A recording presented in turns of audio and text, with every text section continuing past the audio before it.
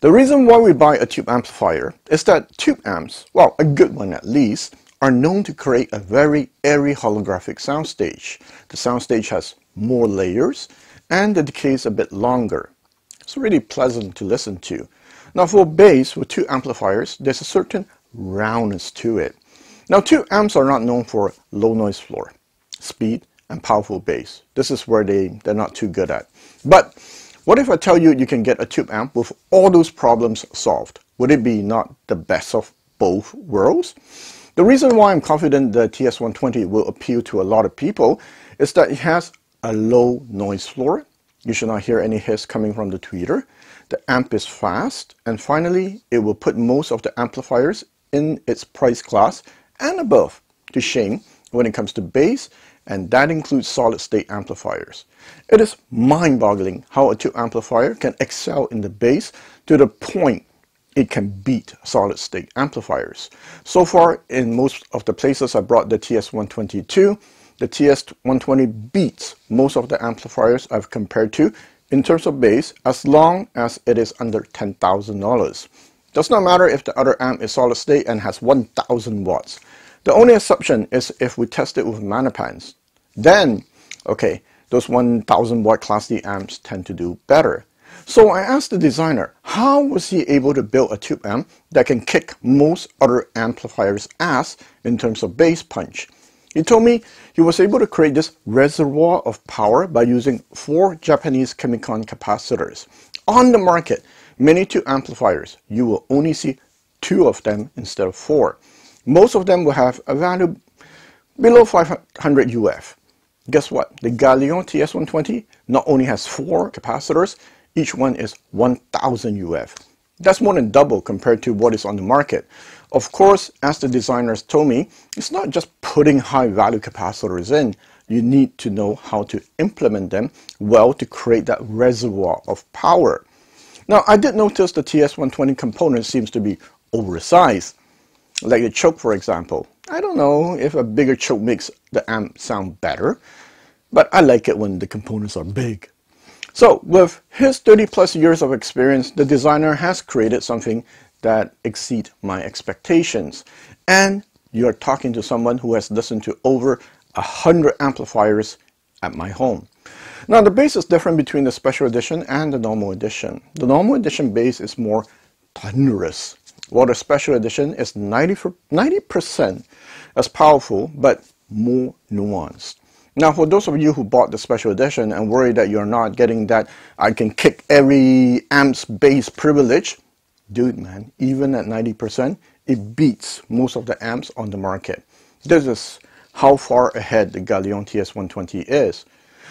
Alright everyone, I'll finish the video with a first reaction video from Frederick. Now pay attention to what he said about the bass. Now I can't do a sound demo today because Loic took uh, both of my amps so I can't record a sound demo to show you the difference in bass between the TS120 and another $4,000 tube amp. Uh, maybe in the future I'll just create a separate, separate sound demo. Alright? Later. Hey guys, it's Thomas here. So today I'm at Frederick's place because uh, I wanted him to check out the Galion TS120. This is the final version. I had tested the Galion with the Polk 707 and Mr. 707 place and that was the before final version. And uh, Frederick has been on my channel before, I know him for a little while, excuse me, and he has the Polk 707, the KEF R700, uh, he plays the saxophone now, uh, he has the Pathos Logos, that's a today price, about 5 grand, uh, that's uh, integrated amp, solid state 105 watt uh, class AB, that's for the, the amp section. And 6922 tubes for the front end section. He also has the McIntosh 2100. He has the Yaqin EL34, uh, the MC10, I think. All right, guys, I'm going to ask him, tell me about the bass. 30 watts. I told him this is a 30 watt amp, you know, compared to your Pathos, which is a 105 watt amp. And by the way, the Pathos bass can kick, man. I mean, it can shake the room with those Polk audio and then I play a bass heavy song, uh, Alan Walker Faded, just to show him the difference between the Galion and the Pathos. tell me what, you, what was your first reaction when you heard the bass?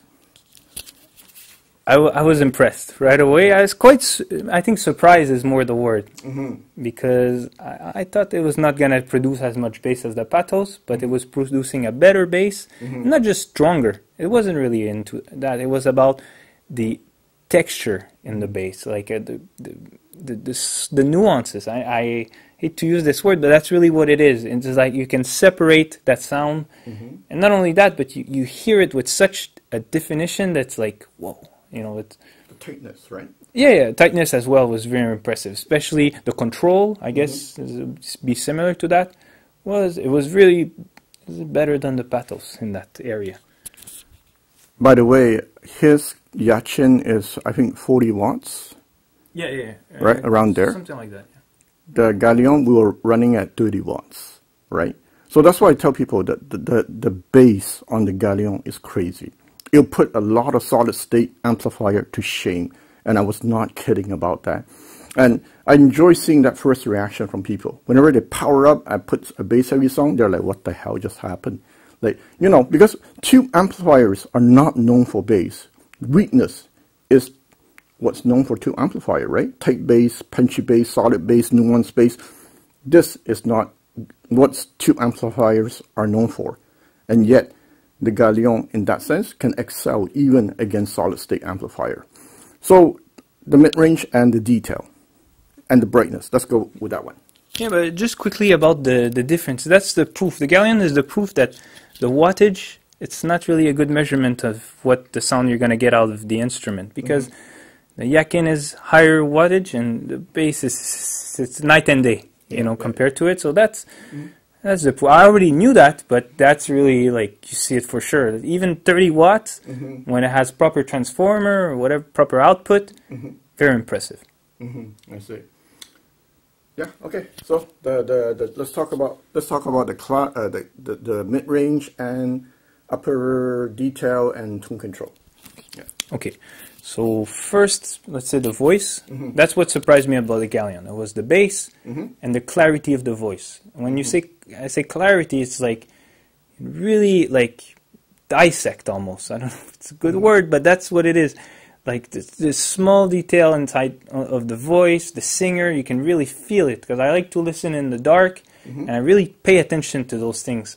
And with the Galion, it was very revealing. Like in the voice was really impressive. Um, what else? The thin? Was it? no, no, it's, it's a full sound. Especially the AB was even a fuller sound. I know a lot of people are gonna like this kind of sound. For me, I preferred the the Class A, uh, and it wasn't because the bass was shy or nothing like that. Everything was present, but the voice is what's really shine. I think somebody who gets this kind of amp, especially in the Class A, that's the mid range is gonna be uh, very impressive, and then the highs are not too bright as well. You know, it's like, uh, and it's it's not dimmed down or dumb like uh, rolled, rolled off. off, yeah. No, no, no. It's just I find for me maybe like perfect. It's very similar to the Pathos, mm-hmm. just slightly less. Mm-hmm.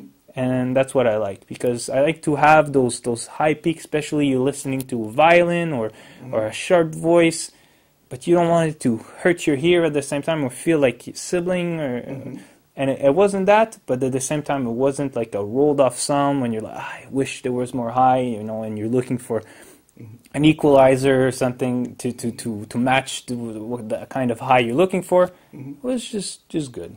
So what don't you like about the amp? Okay, so for, so for me, and this this is personal, but mm-hmm. the first thing is the blue LED. Oh. I listen in the complete dark mm-hmm. most of the time, so I'd have to put my stickers to block them. But and and the fact that I cannot see the volume number, mm-hmm. like the Pathos, it gives you maybe at 50, 51, fi- whatever. For me, it's quite important. Mm-hmm. I mean, I'm sure you can figure out, you know, but it's mostly on those two things.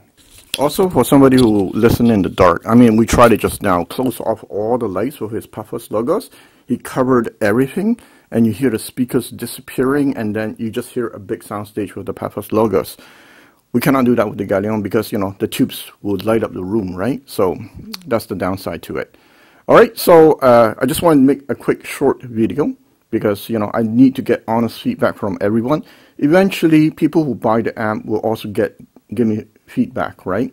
And I understand that it's hard to believe the things I claim in the video. For example, you know, crazy, powerful, nuance based on a tube amp. No one in their right mind will believe me.